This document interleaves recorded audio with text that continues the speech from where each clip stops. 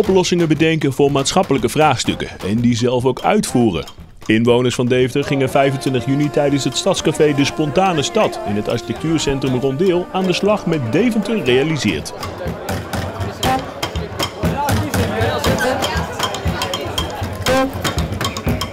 Dit is een avond die vooral in het teken staan, staat van wij, bewoners, Deventenaren, doen het zelf.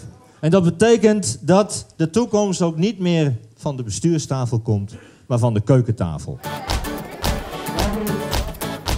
De maatschappelijke vraagstukken kwamen onder meer van de gemeente Deventer, de Rabobank, Saxion, Cambio en MKB Deventer. Ik zou eigenlijk 150 mensen willen hebben waar ik een verschil kan maken tussen een sobere openbare ruimte en een ruimte waar het plezierig wonen en leven is. Die uitdaging wil ik graag met u aan. Als wij de lokale en de, de nationale uh, retaildeskundigen mogen geloven, dan wordt ons voorspeld dat 30% van de winkelpanden leeg gaat staan. Even terug naar de Deventer situatie. Dat betekent dat 100 winkelpanden leeg in onze mooie binnenstad. Dus wij hebben ons als missie voorgesteld, dat laten we ons niet gebeuren. Minder overheidsbemoeienis. Of je zou kunnen zeggen, zouden we naar een stad toe kunnen zonder enige overheidsbemoeienis? Dat kunnen we niet alleen.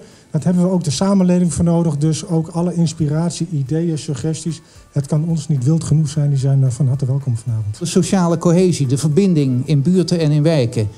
Hoe kan dat met andere methoden dan we nu doen? Anders dan met buurthuizen of met allerlei programma's. Wij zijn bezig met het inrichten van een stadslab. En dat staat op het punt van starten. Waarbij we onze studenten twee dagen per week de stad, de regio insturen. Om daar aan maatschappelijke vraagstukken te werken.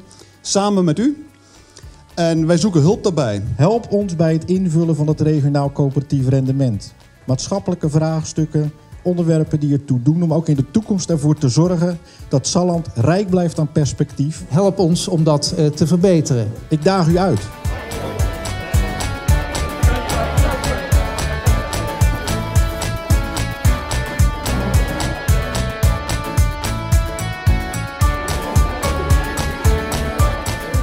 Ik denk dat het heel belangrijk is dat mensen een, uh, een idee hebben waarin je een bindende factor hebt en niet direct op het resultaat moet zitten, maar dat eerst die verbinding gecreëerd moet gaan worden uh, door middel van een mooi concept en dan pas gekeken, uh, gewerkt moet worden naar het resultaat.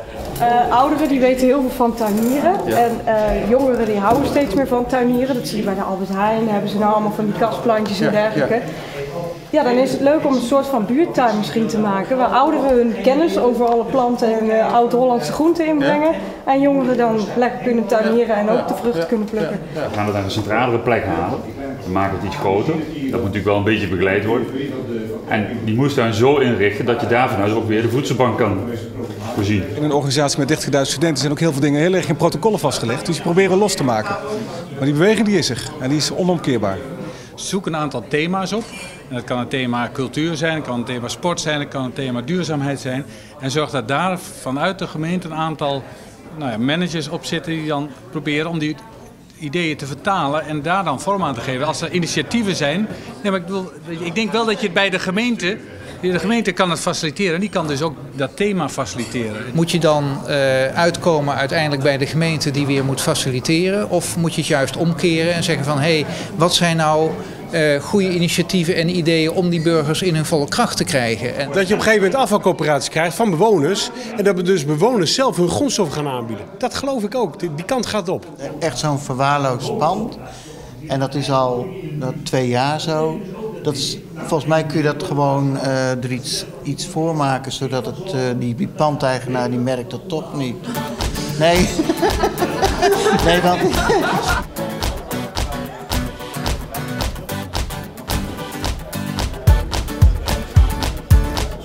Maar wat gebeurt is dat, uh, dat burgers wat minder braaf zijn, wat, dat overheden wat minder braaf zijn en dat bedrijven wat minder braaf zijn.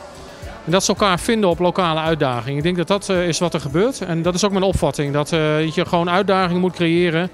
Dat je heel lang kunt praten over participatiemaatschappij, meedoen, eigen kracht en ga zo maar door. Maar dan vliegt het vaak over in abstracties en academische volzinnen.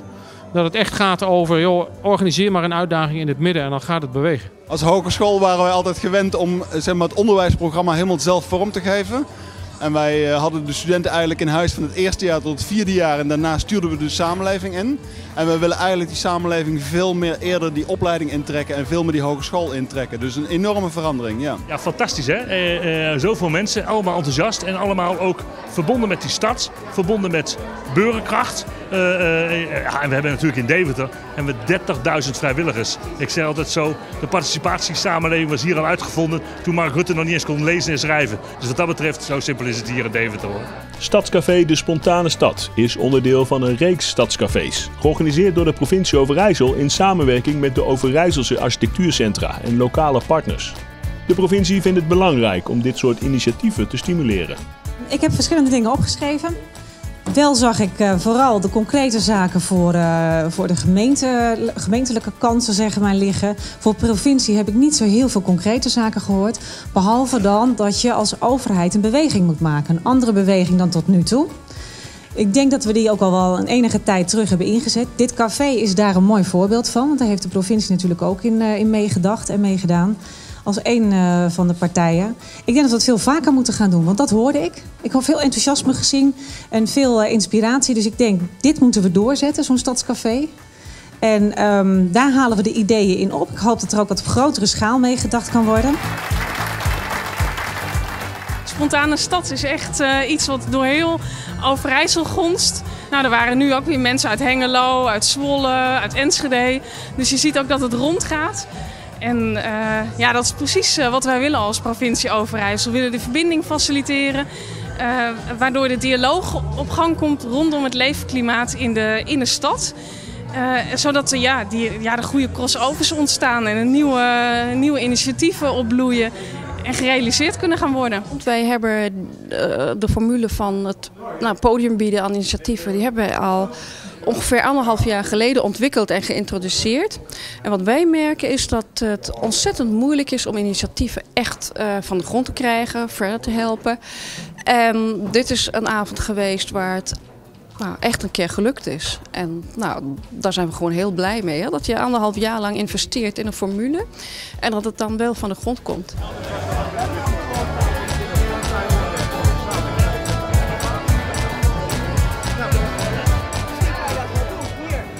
Wij zijn bezig met een uh, wijkonderneming opzetten en wij zijn uh, bezig met uh, financiële vraagstukken om dat op gang te brengen. En vandaar zijn we met Rabobank Salland in gesprek gekomen om daar verder over na te denken. Dus dat is hartstikke mooi om te zien. Ik heb Apeldoorn Kernschoten erop geschreven. En dat is een super actieve en levende wijk. En daar zijn heel veel initiatieven gaande. Zoals het openbaar groen da daar moestuinen van maken. Maar ook het energie-neutraal maken van de wijk. Mij is heel erg opgevallen dat um, dus met grote ruimte, ruimtelijke projecten... waar dus veranderingen in het gebied plaatsvinden... waar mensen heel erg aan gehecht zijn... Ja, dat dat problemen met zich meebrengt. En uh, er is eigenlijk nog steeds niet echt een goede manier... hoe je die burgers nou in zo'n proces kan betrekken. En dat zij uiteindelijk ook tevreden zijn met de veranderingen die plaatsvinden.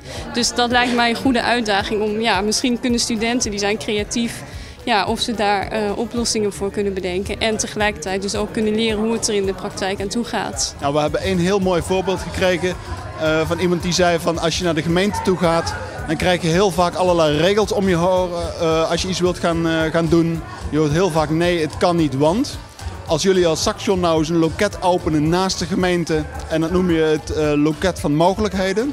Dus laat jullie studenten nou meedenken hoe iets wel kan. Nou, dat is een prachtig initiatief. Dus dan gaan we samen met de gemeente proberen om dat gewoon te realiseren.